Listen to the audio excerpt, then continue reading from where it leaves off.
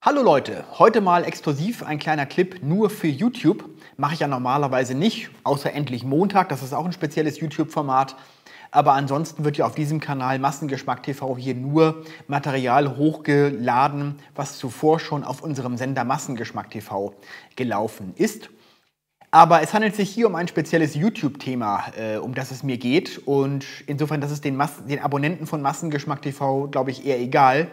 Und deswegen äh, ist das jetzt nur eine Stellungnahme von mir, die ich hier speziell auf YouTube veröffentliche.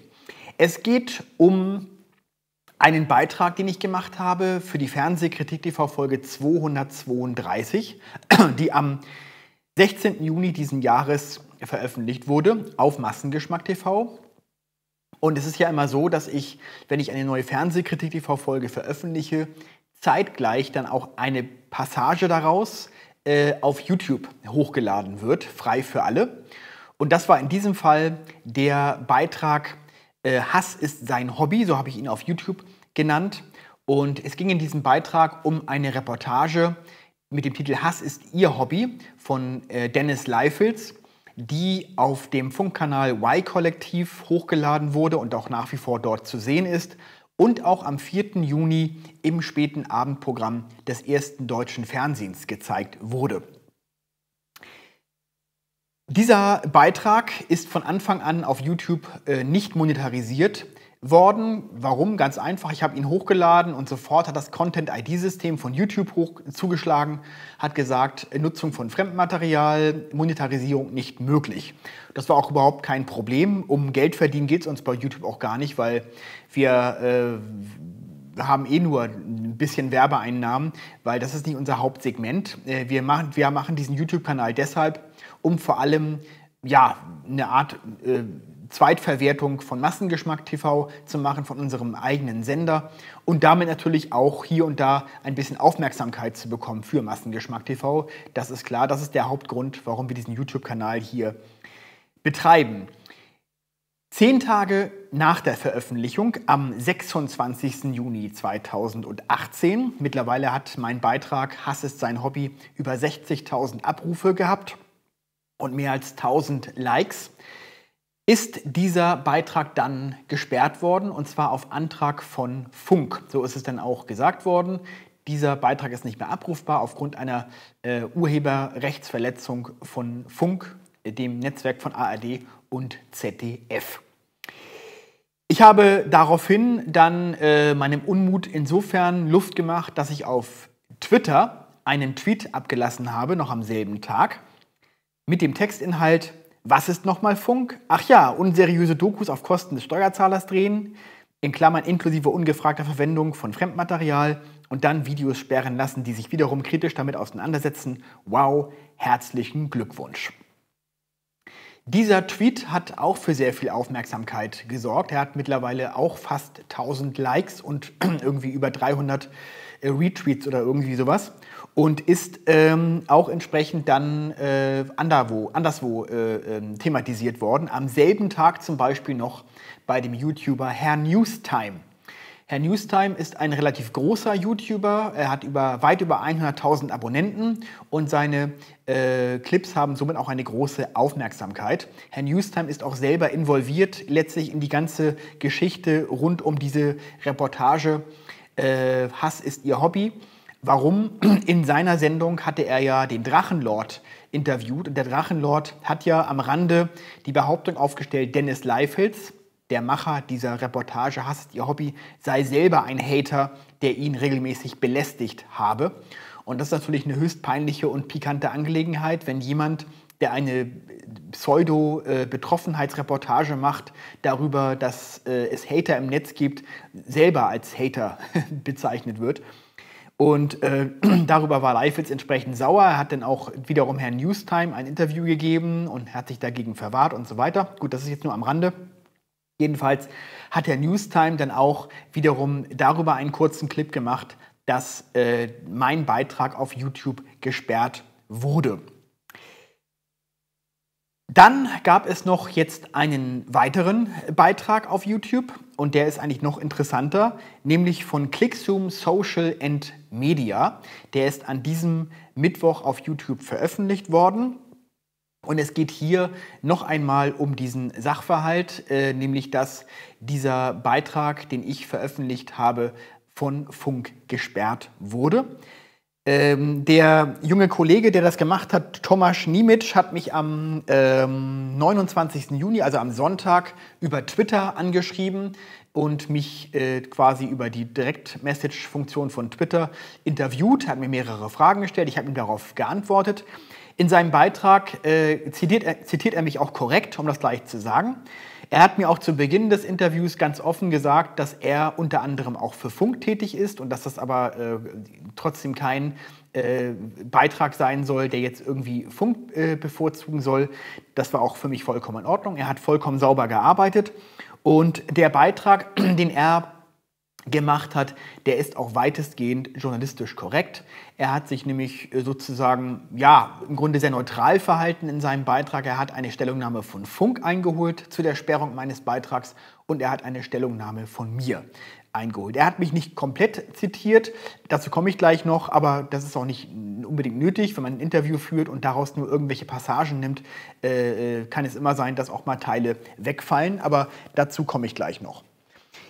So, ähm, was mich äh, besonders erstaunt, ist eben die äh, Stellungnahme von Funk, die hier also in dem Beitrag von Klicks zum Social and Media äh, zitiert wird, weil ähm, da gibt es doch eine ganze Menge dazu zu sagen. Und ich bin wirklich erstaunt, auch die Kommentare, die ich da so lese unter dem Video, ähm, dass offenbar viele Leute hier in diesem Lande mit der Rechtslage nicht so richtig vertraut sind.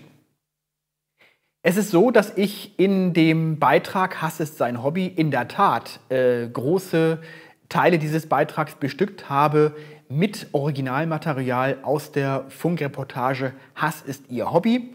Äh, Funk selbst will ausgerechnet haben, dass es ungefähr 70 Prozent äh, gewesen sind. Ob das jetzt auf den Prozentpunkt genau stimmt, weiß ich nicht, aber das kommt ungefähr hin. Ich mache das aber nicht, um irgendwie künstlichen Beitrag äh, aufzufüllen oder sonst irgendwas, sondern ich mache das deshalb, ähm, weil ich eben entsprechend die Passagen, die ich zeige, auch gleichzeitig kritisiere und äh, entsprechend analysiere.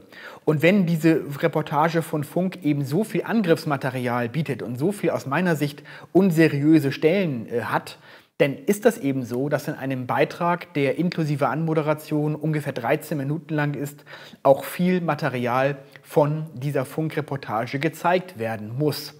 Ich habe mich ja an den einzelnen Punkten nach und nach abgearbeitet. Ich habe gezeigt, dass äh, Dennis Leifitz auf der einen Seite ganz betroffen ist, dass sozusagen der Drachenlord äh, von Leuten belästigt wird. Er schleicht aber selber mit der Kamera ums Haus und macht genau dasselbe, was er anderen Leuten vorwirft. Ich habe gezeigt, wie er Dorian interviewt hat. Diese höchst peinliche Szene, wo Dorian ihn fragt, zahlst du? Und er sagt nein, äh, was ich bis heute die, die unglaublichste Stelle in dieser Reportage finde. Und noch weitere Stellen. Und das ist ein ganz entscheidender Punkt, wenn wir hier jetzt über Urhe Urheberrechtsverletzungen sprechen. Wie baue ich so eine Reportage auf und warum zeige ich bestimmte Ausschnitte und wie äh, bereite ich sozusagen so einen Beitrag auf? Ich möchte dazu auch erstmal nochmal sagen, dass ich Fernsehkritik TV seit mittlerweile elf Jahren mache. Und ich habe einige äh, rechtliche Auseinandersetzungen gehabt, wie allgemein bekannt sein dürfte. Es ging dort aber immer äh, äh, oder fast immer um inhaltliche Dinge, dass ich angeblich Falschbehauptungen aufgestellt gestellt hätte, dass Leute sich verleumdet fühlten, wie zum Beispiel die Super Nanny. Ich habe einmal auch eine Markenrechtsgeschichte gehabt mit RTL, das berühmte scheiß RTL-T-Shirt, aber das ist Markenrecht und nicht Urheberrecht. In Sachen Urheberrecht habe ich in elf Jahren noch niemals eine rechtliche Auseinandersetzung gehabt. Jegliche Versuche von Sendern, mir auf der Ebene zu kommen, sind immer schon vorzeitig von Gerichten gleich abgeblockt worden und gesagt worden, das ist vollkommen in Ordnung, keine Chance auf eine, auf eine Klage. Äh, und deswegen kann ich von meiner Seite sagen, ich bin mit der rechtlichen Situation sehr gut vertraut. Und all die Leute, die mir unterstellen, ich würde also hier einfach äh, Material verwenden und würde also das Urheberrecht sozusagen noch und nöcher brechen, beziehungsweise das Zitatrecht wird ja gerne äh, benutzt oder, oder, oder genommen als, als Begründung dann kann ich nur sagen, äh, das sind Leute, die sich offensichtlich mit der Rechtslage nicht gut genug auskennen. Aber dazu werde ich jetzt gleich noch im Einzelnen kommen, um auch noch mal über die Rechtslage ein bisschen genauer zu referieren, damit auch mal äh, Leute äh, wissen, wovon wir überhaupt hier eigentlich reden und sich in Zukunft vielleicht denn doch mal besser informieren sollten. So, ich bin äh, in diesem äh, Beitrag von dem Tomasz von Click Social and Media äh, zitiert worden, korrekt zitiert worden. Ich habe unter anderem angemerkt, dass Funk ja ein öffentlich-rechtlicher äh, Kanal ist, also ein öffentlich-rechtliches Netzwerk ist. Und dass es deshalb ja nicht sein kann, dass sozusagen äh, dieses Netzwerk Funk und all die Kanäle, die dort sozusagen äh, äh laufen, dass die sozusagen gleich behandelt werden können, wenn, wenn es ums Urheberrecht geht, wie die äh, Produktion eines privaten Medienkonzerns. Warum nicht? Ein privater Medienkonzern erwirtschaftet sein Geld und steckt sein Geld in solche Produktionen, ist natürlich nicht besonders äh, erquickt darüber, wenn sozusagen einfach Material geklaut wird und zweitveröffentlicht wird. Bei Funk ist die Lage aber eine andere. Funk ist ein öffentlich-rechtliches Netzwerk, das heißt, dieses Netzwerk äh, nimmt sein Geld aus öffentlichen Mitteln. Den, den, Bürgerinnen und Bürgern dieses Landes wird das Geld zwangsweise abgenommen. Ihnen wird mit Strafe gedroht, wenn sie nicht bezahlen. Und das heißt, Funk hat seine 45 Millionen Euro im Jahr? Auf jeden Fall. Selbst wenn alle Funksendungen, alle Funkkanäle nur einen einzigen Abonnenten hätten oder null Abonnenten hätten und kein, kein Mensch würde das gucken, würde Funk trotzdem die 45 Millionen Euro bekommen. Das heißt, Funk ist in keinster Weise von wirtschaftlichen Zwängen abhängig. Das ist ein ganz entscheidender, elementarer Unterschied dazu, dass zum Beispiel etwa Pro7, Sat1 oder, oder RTL Bertelsmann etwas hochladen würden oder auch, ähm, was weiß ich, ähm, äh, andere private äh, Produzenten, die auch für YouTube produzieren. Ich sage das nur noch mal äh, einfach, um auch mal diesen Unterschied klar zu machen, dass es eben nicht dasselbe ist. Und ich habe in, in, in der Tat, ich bin ja auch zitiert worden dann, dass ich dieses Beispiel gebracht habe, dass ARD und ZDF ja immer gerne die, diese, diese Parallele oder diese Analogie zu, zu Straßenbau bringen. Dass sie sagen, ja, jeder muss eben für ARD und ZDF bezahlen, weil es ist ja allgemeingut. Äh, jeder Steuerzahler zahlt ja auch für den Bau und die, und die, und die äh, Pflege von Straßen, obwohl nicht jeder Steuerzahler jede Straße benutzt benutzt. Ja, ist gut, akzeptiere ich. Nur dann im Umkehrschluss bedeutet das, dass ich auch sozusagen das Material, was Funk produziert, als Rundfunkbeitragszahler frei benutzen darf und da es keine Einschränkungen geben darf. Einschränkungen kann es vielleicht insofern geben, dass wenn ARD und ZDF bestimmte Lizenzen über einen gewissen Zeitraum begrenzt erwerben, zum Beispiel jetzt bei der WM 2018 oder das ZDF hat vor kurzem Jurassic World in, in Free TV Premiere gezeigt. Dass das natürlich klar ist, dass solche Sachen nicht einfach benutzt werden können, weil hier natürlich eine Lizenz eingekauft wurde und es sich nicht um eine Eigenproduktion von ARD und ZDF handelt. Bei der äh, Reportage Hass ist ihr Hobby, es ist aber was anderes. Es ist eine Eigenproduktion des, des Kanals Y-Kollektiv.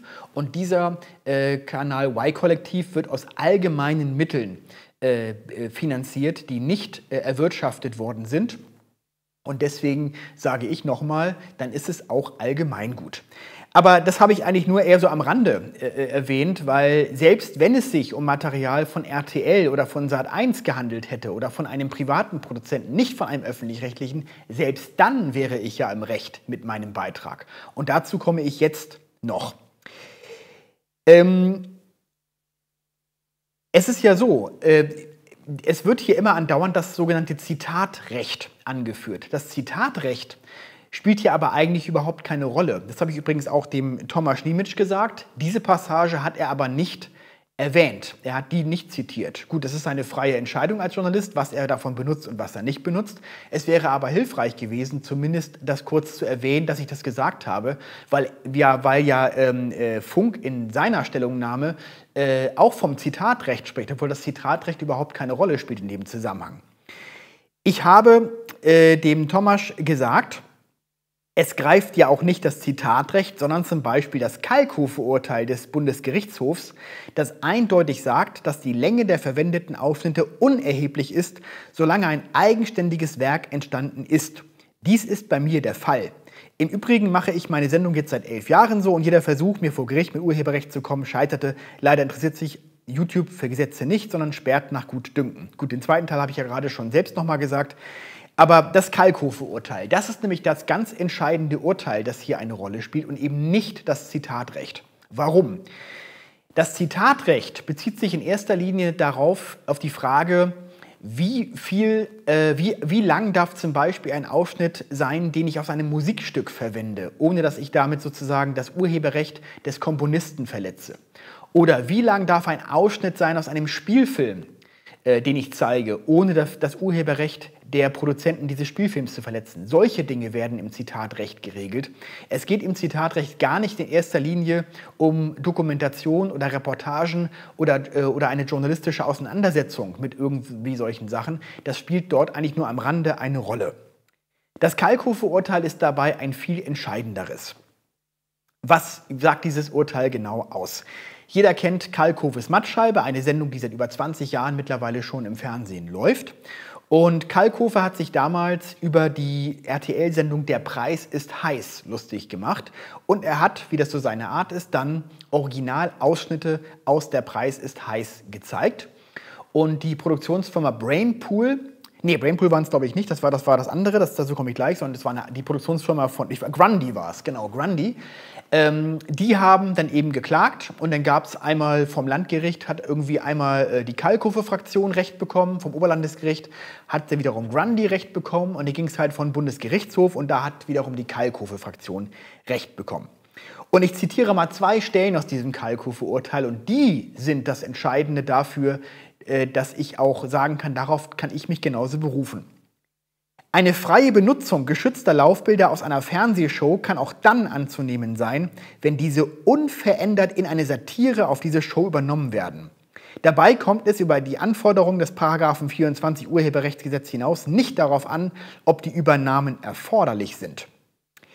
Und dann gibt es noch den Punkt, bei der Beurteilung einer Satire als selbstständiges Werk ist es unerheblich, wie das Gelingen oder die inhaltliche Tendenz der darin gestalteten Kritik gewertet werden kann. Nun werden wahrscheinlich einige aufschreien und sagen, wieso dein Beitrag ist doch überhaupt keine Satire. Das ist aber eben, das ist aber eben doch der Fall. Denn wenn man Fernsehkritik TV kennt, das betitelt sich selber als satirisch-kritisches Magazin. Und wenn man vor allem auch diesen Beitrag gesehen hat, dann ist dieser Beitrag immer wieder auch mit Spitzen versehen, mit, mit äh, äh, äh, ja, kreativen Wortschöpfungen meinerseits. Ich mache mich über Dennis Leifels lustig. Es ist ja ein Beitrag, der ja sozusagen in weiten Teilen eher äh, eine, eine, eine, ja, eine spitze äh, Kritik oder eine, eine, eine Spitze gegen, gegen Funk ist und gegen diesen äh, Herrn Leifels ist. Und deswegen ist es natürlich klar, dass es sich hier auch um einen satirischen Beitrag handelt, weil der Drachenlord selber mit dem, was er so tut, das ist ja auch durchaus, äh, das ist ja Realsatire, genau wie das, was da vor seinem Haus alles so äh, stattfindet. Insofern passt das hier natürlich sehr gut. Im Übrigen äh, ist zwar beim Kalkow-Urteil von Satire die Rede, äh, es ist aber eben auch anwendbar generell auf alle möglichen Beiträge dieser Art, weil äh, hier es auch immer wieder Bestätigungen des Urteils mittlerweile gegeben hat. Der entscheidende Punkt ist, man darf es nicht verwechseln mit dem TV-Total-Urteil des Bundesgerichtshofs. Denn ARD und ZDF verweisen immer gerne auf das Urteil, weil in dem Urteil haben sie Recht bekommen.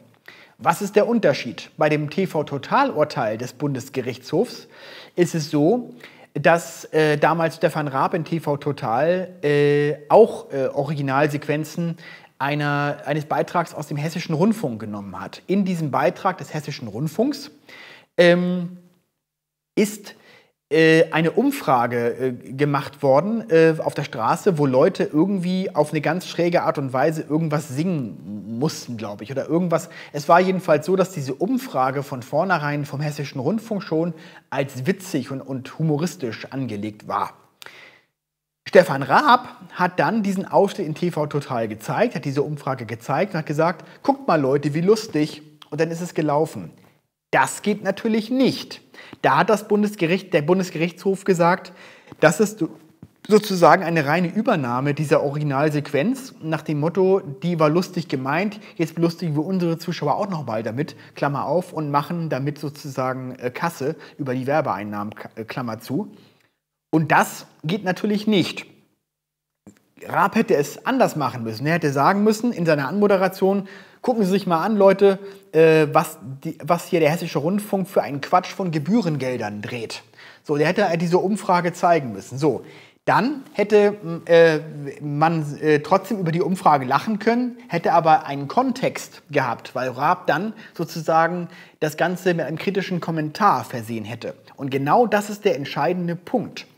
Entscheidend ist eben nicht einfach nur zu sagen, es gibt hier eine Urheberrechtsverletzung, sondern entscheidend ist, dass das Material, was ich verwende und benutze, dass dieses Material deshalb verwendet wird, weil ich sozusagen mich kritisch daran abarbeite. Und ähm, das ist ja auch noch eben ganz entscheidend, ähm, weil hier im Kalkofe-Urteil ja auch noch etwas ganz Entscheidendes gesagt wird, was ich auch noch kurz zitieren kann. Dies gilt vor allem dann, wenn sich das neue Werk mit der benutzten Vorlage kritisch auseinandersetzt, wie dies etwa bei einer Parodie, aber auch auf die Vorlage, auf die der Vorlage bezogenen Satire der Fall ist. Entscheidend ist auch in einem solchen Fall, ob das neue Werk zu dem aus der Vorlage entlehnten einen so großen inneren Abstand hält, dass es seinem Wesen nach als selbstständig anzusehen ist. Ein solcher innerer Abstand kann sich auch aus einer Auseinandersetzung mit dem urheberrechtsfreien Inhalt und der Tendenz der Vorlage ergeben.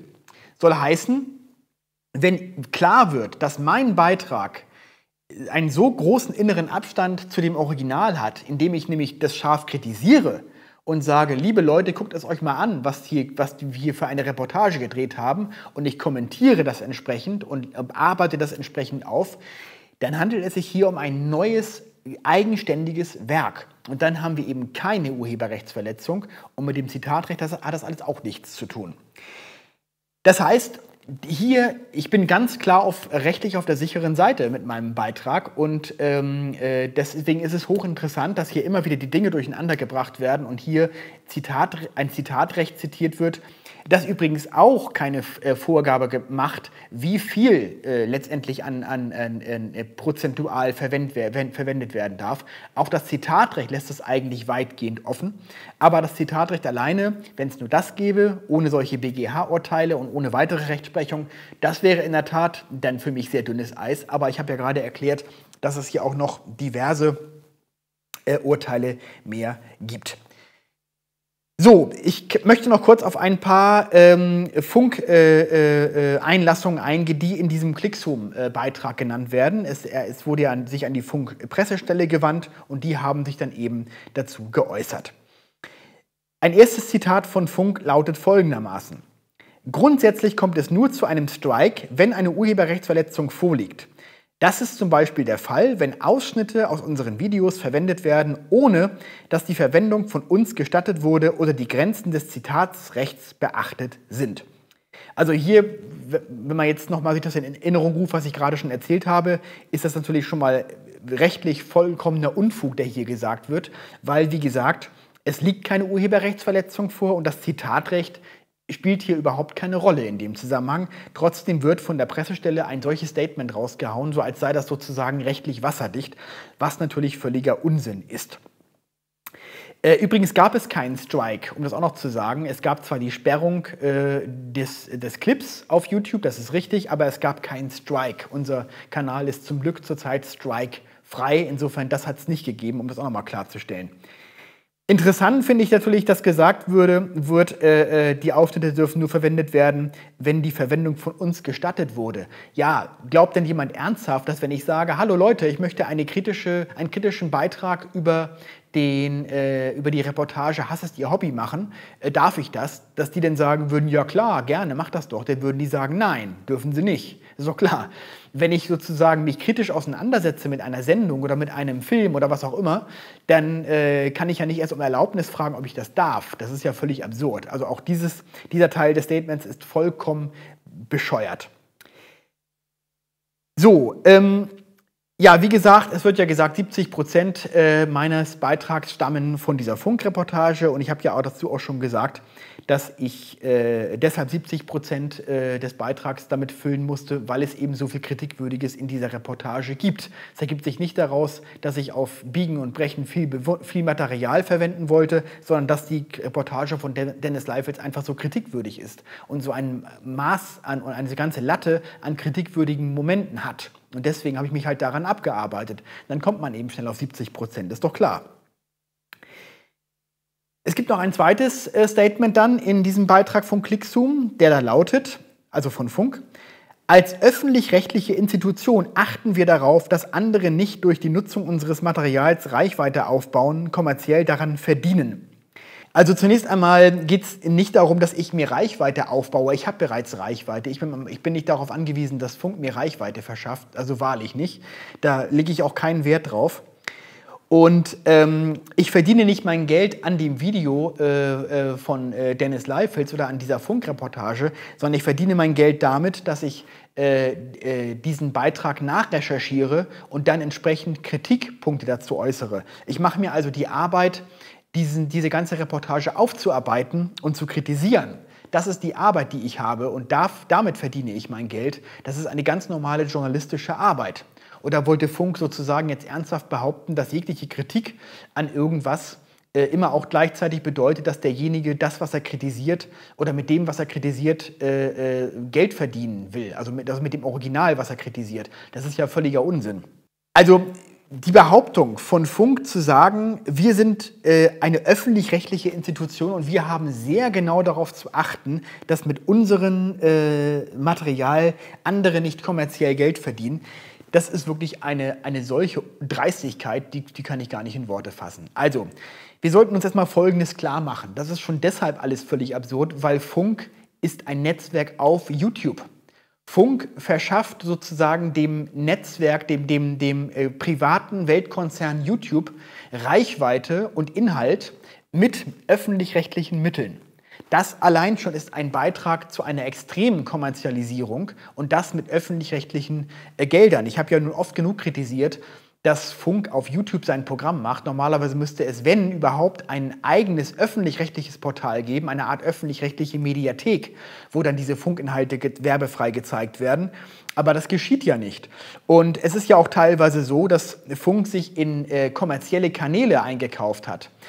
Zum Beispiel die Rocket Beans. Rocket Beans sind ein rein kommerzielles Unternehmen, äh, machen aber einmal die Woche mit Funkgeld die Sendung Game 2. Das heißt, Funk, äh, die Rocket, Rocket, Beans haben eine mit Funkgeldern ähm, hochwertige Sendung im Programm, die mit öffentlich-rechtlichem Geld finanziert wird und haben damit gleichzeitig auch wiederum äh, einen Prestigegewinn für ihren eigenen kommerziellen Sender Rocket Beans. Das nur als ein Beispiel. Also das ist keine Kritik an den Rocket Beans. Das ist für die ist es vollkommen in Ordnung, dass sie es machen. Ne? Also äh, viele Grüße an äh, äh Budi und Co. Aber es ist ja einfach so, dass natürlich die Rocket Beans wiederum als kommerzieller Sender davon partizipieren, dass sie mit Funkgeldern eine so hochwertige Sendung wie Game 2 jede Woche machen können. Oder auch Worldwide Wohnzimmer, die haben ja auch schon bereits sich merkwürdigerweise geäußert unter diesem Clickzoom-Kommentar und haben von rechtlichen Dingen überhaupt keine Ahnung, aber meinen sich äußern zu müssen. Die haben regelmäßig in ihrer Sendung YouTuber zu Gast und machen reine Werbung für die. Und das heißt, also, also sie, sie, nützen, sie, sie bringen sogar sozusagen äh, äh, YouTubern Reichweite mit ihrer öffentlich-rechtlichen Sendung Worldwide Wohnzimmer, was auch eine reine Kommerzgeschichte ist. Und da gibt es noch diverse Beispiele mehr. Das heißt, wenn Funk denn tatsächlich es offenbar nicht besonders ernst nimmt mit, der, mit dem kommerziellen, dann ist es doch ein Treppenwitz, wenn ausgerechnet hier jetzt in meinem Fall angeblich so genau und äh, äh, äh, fein darauf geachtet wird, dass man ja jetzt nicht irgendwie in der Kommerzialisierung das Wort redet, weil es sind ja öffentlich-rechtliche Inhalte. Also das ist ja im Grunde der ganze Witz an der Geschichte dass die öffentlich-rechtlichen immer dann öffentlich-rechtlich sind, wenn es um, Urheberrecht geht und solche Dinge geht. Aber wenn es dann plötzlich darum geht, oder wenn es auch ums, ums Geld geht, nach dem Motto, wir sind ja allgemeingut und alle müssen für uns bezahlen, wir sind für die Demokratie da, Demokratieabgabe, ohne uns wäre die Demokratie in Gefahr, bla bla bla. Aber wenn es dann plötzlich ums kanalharte Geldverdienen geht oder wenn es darum geht, eben zum Beispiel äh, Inhalte zu sperren, dann ist man plötzlich angeblich ein, äh, sowas wie ein privater Medienkonzern und ist plötzlich nicht mehr öffentlich-rechtlich. Also das ist schon wirklich absurd, was hier passiert. Und äh, insofern bleibt mir letztendlich nur zu sagen, ähm, dass ich mich jedenfalls vollkommen im Recht sehe mit meinem Beitrag, den ich gemacht habe und äh, Funk hier völlig zu Unrecht und ohne jede rechtliche Grundlage diesen Beitrag hat sperren lassen. Und deswegen habe ich auch Einspruch gegen diese Sperrung eingelegt. Funk hat jetzt 30 Tage Zeit, sich dazu zu äußern. Sie sind verpflichtet, sich zu äußern. Wenn Sie das nicht tun, wird mein Beitrag automatisch wieder freigeschaltet. Und wir werden dann ja mal sehen, äh, wie Funk sich äußert und wie Funk meint, sich denn jetzt auf diese Argumente stützen zu können. Und äh, ich behalte mir natürlich weitere rechtliche Schritte dann vor. Wenn Funk das unbedingt möchte und diese Auseinandersetzung vor aller Öffentlichkeit mit mir führen möchte, dann können Sie das gerne tun. Das soll mir durchaus recht sein. Ähm, der Thomas hat in seinem äh, Klick zum Beitrag am Ende noch gesagt, ähm, weil ich ja auch ihm gesagt habe, dass äh, ich gar kein Geld verdient habe mit, dem, äh, mit dem, meinem Beitrag auf YouTube. Ja, der Beitrag befindet sich ja auf Massengeschmack hinter, einem, hinter einer Bezahlschranke. Das ist richtig. Äh, das Original, die komplette Sendung Fernsehkritik TV ist hinter einer Bezahlschranke. Der Beitrag selber ist aber von Anfang an, von Tag 1 an auf YouTube frei für alle zu sehen gewesen. Und da ich jetzt nicht äh, sozusagen äh, Leute dazu aufrufen möchte, extra dafür ein Abo abzuschließen, um diesen Beitrag sich anzuschauen, habe ich ihn zum Download auf unserem Server jetzt äh, gepackt. Und der Download-Link befindet sich im Infotext. Also jeder, der möchte, kann sich diesen Beitrag anschauen. Und äh, es ist ein Download, das heißt, ich verdiene auch mit diesem Download gar nichts. Ich stelle den Beitrag einfach nur zur Verfügung, damit ihn jeder sich angucken kann, der sich selbst ein Bild machen möchte. Das war's dazu. Das war das, was ich sagen wollte. Schöne Woche noch und bis bald mal wieder.